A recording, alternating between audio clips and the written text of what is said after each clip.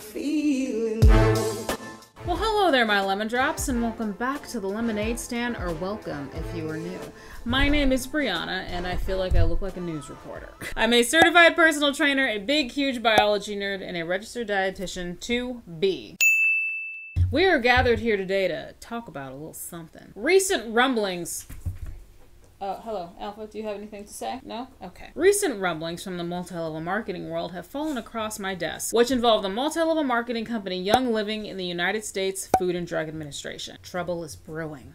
Or should I say, essential oil is brewing. Before we proceed, if you love science based health, wellness, and fitness education with some lulls and some dry sarcasm along the way, hit that subscribe button and join the lemonade stand. I would seriously love to have you here. Without anything further, Let's make lemonade. So, Young Living is a multi level marketing company and they distribute essential oils, essential oil containing products, and even beauty products. Some of these products include, but are not limited to, essential oils, essential oil infused dietary supplements, food products like waffle mix and dry pasta, and home cleaning products. However, despite all of that, Young Living is probably best known for uh, their essential oil products. We've all probably been exposed to essential oils in some capacity at some point in our lives. Really, in my opinion anyway, essential oils are not a problem. In fact, most of us really like them. Maybe you diffuse them because they smell good. Maybe you use them as part of cleaning sometimes. Pro tip, to keep your mini bathroom trash can from getting like too terribly funky, soak a couple cotton balls in the essential oil of your choice. I have personally used lemon oil before and I've also used tea tree oil and then just throw them in the bottom of the trash can because their essential oils are so strong and pungent. helps keep the bathroom smell under control and helps get the bathroom from smell too funky. So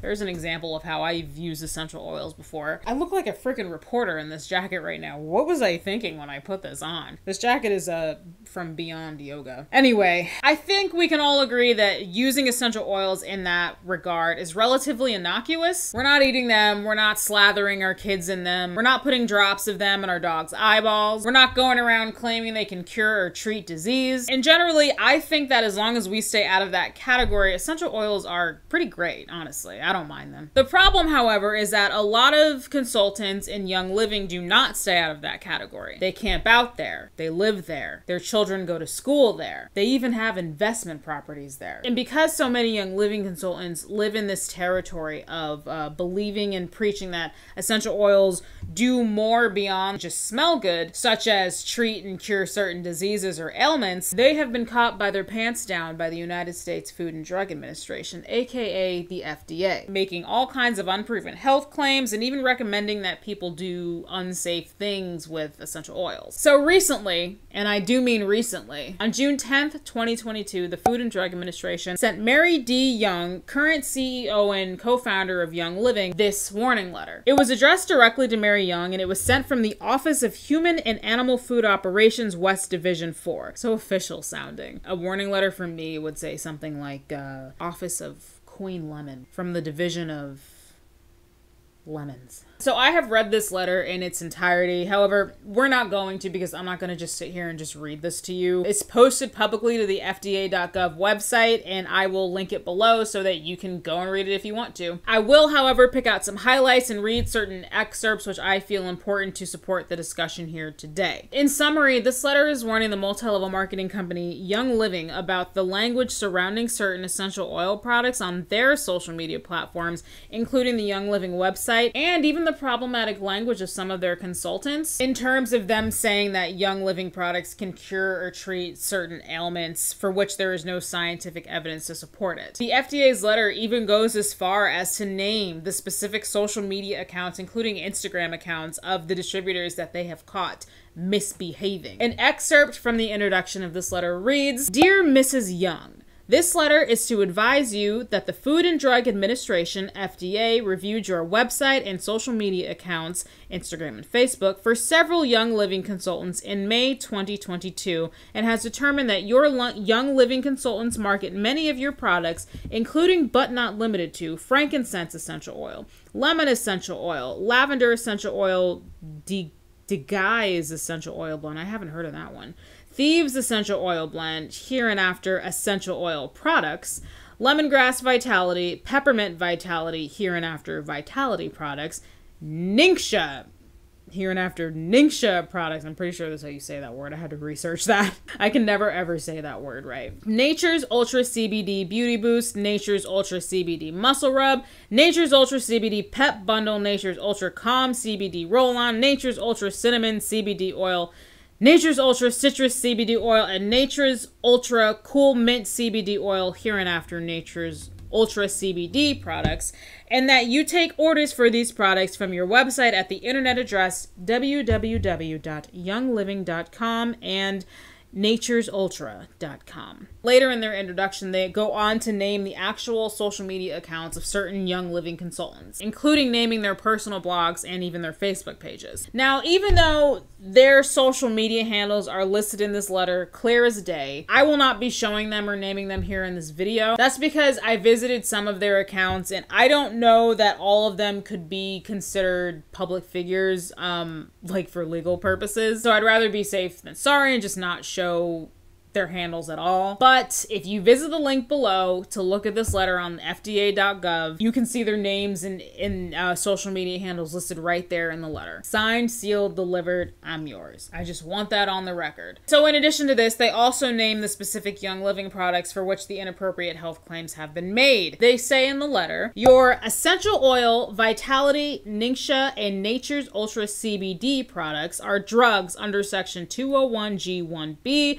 of the Federal Food, Drug, and Cosmetic Act, the Act, 21 USC 321G1B bibbity boppity boo. Because they are intended for use in the cure, mitigation, treatment, or prevention of disease. The intended use of a product that may be determined by, among other things, its labeling, advertising, and the circumstances surrounding its distribution. 21 CFR 201.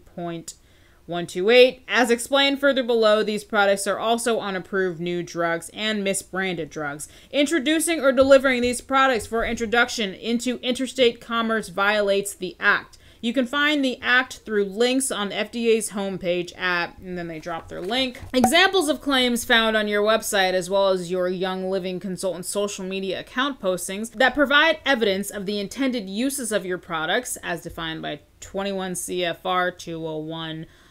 0.128. I think I'm going to stop reading out those codes. It's annoying. As drugs include but may not be limited to the following essential oil products on the website consultantswebsite.com under they put her actual website but i have redacted it under the essential oil category 20 uses for frankincense oil. Number 16 may ease symptoms of discomfort for a urinary tract infection. Number 17 may ease symptoms of discomfort for from a yeast infection. Number 19, great to use dot dot dot for a homemade sunscreen. Fun fact, I went to that consultant's website to find this blog post and this post is nowhere to be found. So I am under the assumption that Young Living hit her up and had to lay her out and told her to take it down because the FDA was all up in their asses. Here's another example that the FDA cited. On the social media account instagram.com slash redacted, they even put the consultant's ID number there too. I don't know how they figured that out. Royal Crown Diamond member this tickled me something fierce. The fact that they put like the title of her rank like in this official document. I don't know why that's so funny to me. May 24, 2020. Phenylpropanoids. The phenylpropanoids and phenols and essential oils dot dot dot attack invading microbes and parasites dot dot dot found in clove peppermint vitality fennel basil and wintergreen october 9th 2019 dot dot dot. My friend dot dot dot added me to a product education group where I learned that taking lemon essential oil,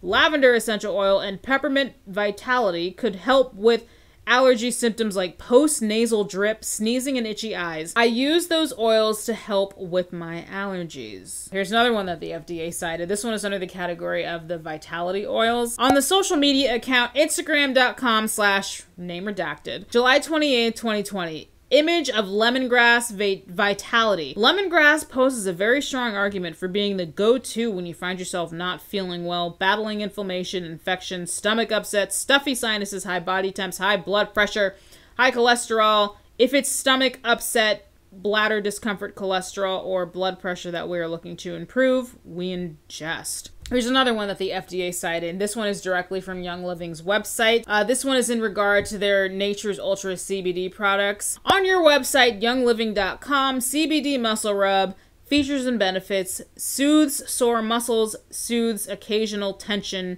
Suggested uses apply topically to soothe sore muscle, apply to neck and shoulders to soothe occasional tension. About CBD Muscle Rub combines CBD, menthol, and a selection of Young Living premium essential oils such as camphor, clove, lemon, peppermint, tea tree, wintergreen, and more.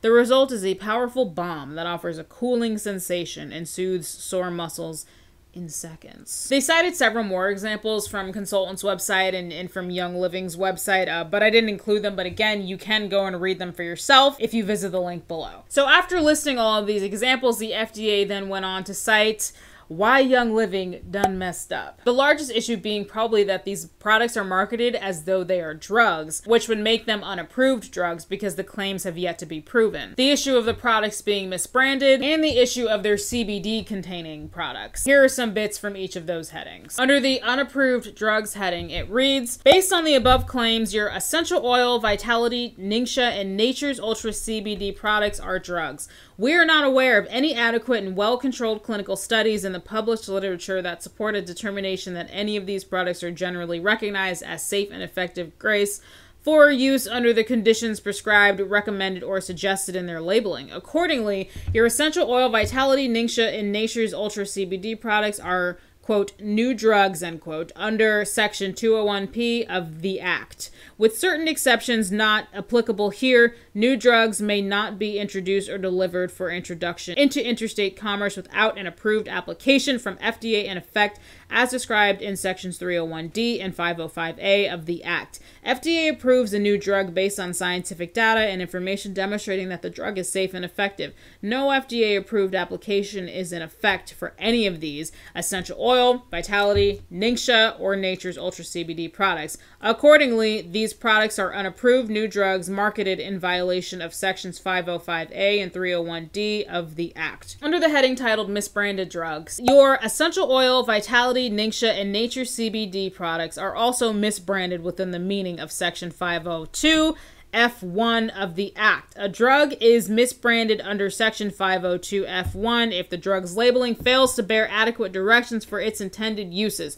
Adequate directions for use means under directions which a lay person can use a drug safely and for the purposes for which it is intended. They go on to say under this heading Consequently, your essential oil, Vitality, Ningxia, and Nature's Ultra CBD products are misbranded drugs under Section 502 F 1 of the FD&C Act the introduction or delivery for introduction into interstate commerce of misbranded drugs violates sections 301A of the Act. Lastly, an excerpt under the heading titled CBD containing drugs says Even if your Nature's Ultra CBD products were considered non prescription drugs, we note that a non prescription drug containing CBD cannot be legally marketed without an approved new drug application, regardless of whether the CBD is represented on the labeling as an active ingredient ingredient or an inactive ingredient. To date, no CBD containing drug has met applicable FDA requirements to be legally marketed for non prescription use. Finally, under the last heading where they conclude, this letter is not intended to be an all inclusive statement of violations that may exist in connection with your products. You are responsible for investigating and determining the causes of any violations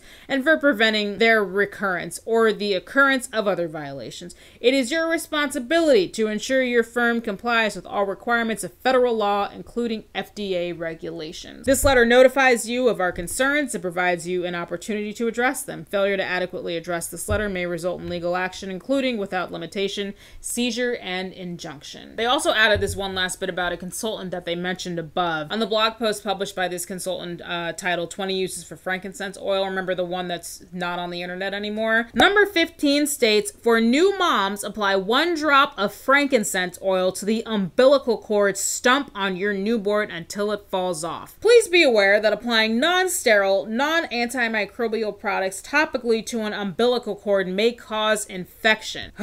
Good night. Within the final paragraph, they say, please notify FDA in writing within 15 working days of receipt of this letter of the specific steps that you have taken to address any violations, including an explanation of each step being taken to prevent the recurrence of violations, as well as copies of related documentation. Now, as well as sending this letter to Mary Young, they also CC'd the consultants as well, which I was not expecting, but I saw that and I was like, oh you get them FDA. so that was the letter. I mean, obviously not all of it. I just read excerpts from it. It's a warning letter to the company Young Living from the United States Food and Drug Administration, the FDA, because them and some of their consultants are out here showing their behinds, making all kinds of unproven health claims and whatnot about their essential oils and other products by Young Living. This instance is small, and quite frankly, it probably won't be the downfall of Young Living, but it's something and is exactly why I do what I do with my content. Also, keep in mind is this is not just a Young Living MLM issue. This is not just an MLM issue. This is an issue among the entire health and wellness space. When we see health gurus in social media say things like, oh, don't listen to your doctor, buy my magic potion instead, it will fix you. That is a huge problem. It's a public health issue. First of all, like 99% of the time, these people are not healthcare or science professionals in any way, shape, or form. And second, they have stake in you buying in what they are selling. The Young Living consultant telling you to use essential oils on your newborn infant's umbilical cord wants you to buy your essential oils from their website. The hormone coach that's telling you that your hormones are messed up and they can fix you, but only if you buy their program. The fitness influencer that's telling you that all supplements are bad and terrible quality, except theirs. So you should buy theirs using their discount code instead. Now, I am not mad at people working for a.